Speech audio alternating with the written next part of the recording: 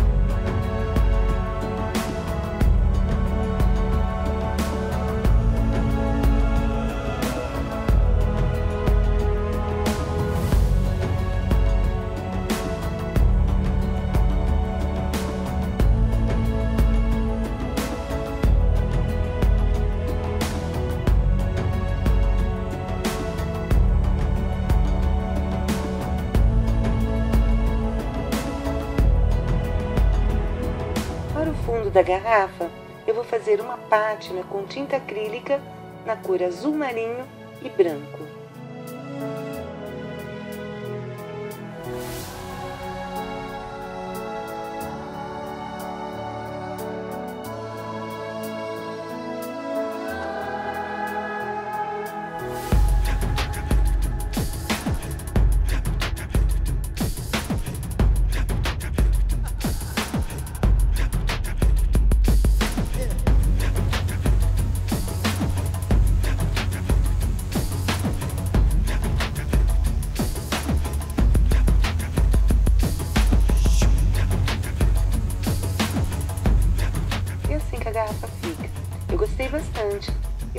Acharam? Gostaram também? Deixe aqui nos comentários a sua opinião. Um beijo e até o próximo vídeo.